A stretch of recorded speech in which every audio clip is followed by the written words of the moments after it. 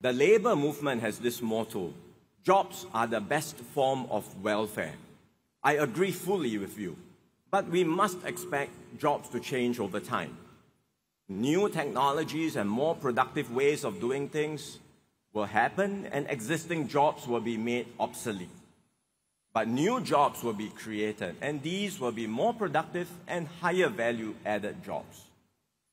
And that's why in our Forward Singapore review, we are studying how we can invest more in every worker to help them take ownership of their own careers, to continually reskill and upskill, and to take up better jobs and opportunities throughout their working lives.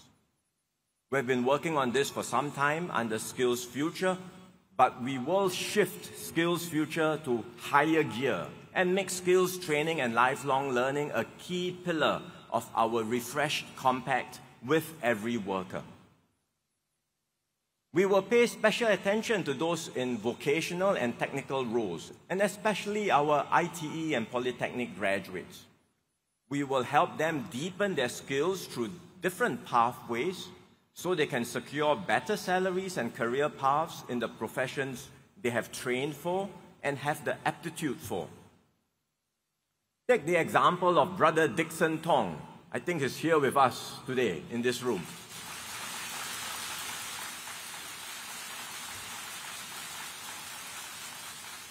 I met Brother Dixon recently. He has been working at Hitachi as a lift technician for the past 25 years. And throughout this period, he has been continually honing his skills to excel in his profession. Recently, he took up a work study diploma program. It was not easy for him to go back to work, to school after more than 20 years while working at the same time. But with hard work and determination, he attained his diploma and was promoted to a supervisory role in the company.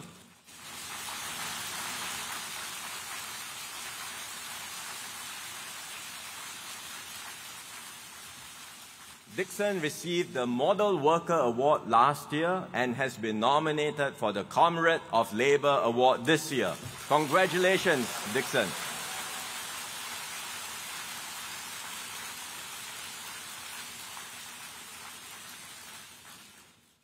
PMEs too will have to reskill and upskill themselves, especially with rapid technological advancements. For example, look at what's happening in AI, artificial intelligence. Some of you may have used ChatGPT. I asked ChatGPT, what should I say in my May Day rally speech? It didn't give me a good answer, so I had to write my speech myself. But in time to come, the AI algorithms will only get better and more versatile. And ChatGPT is just one application of AI. Many more are on the way. Integrating new technologies like AI into our work will bring sweeping changes, including for highly trained workers. We must expect more human tasks to be taken over by machines. So some existing skills will no longer be so useful, but new skills will be needed. And that's why we must continually reskill and upskill. Uh, one example is Madam Amina Muhammad La. She is someone who has taken the plunge to learn new IT skills. After 20 years working in administrative roles like finance and procurement, she enrolled in a nine-month program to learn about coding, data science, and data visualization. Something completely new for her and she struggled with it initially. But fortunately, her children were also taking up courses in computing and data science at the same time. So she could discuss and get some help from them. This is the circle of life. When we are children, we learn from our parents. As we get older, the young ones will teach us. And so, through her hard work, she has now embarked on a new career as a business analyst at one of our banks. Well done, Amina.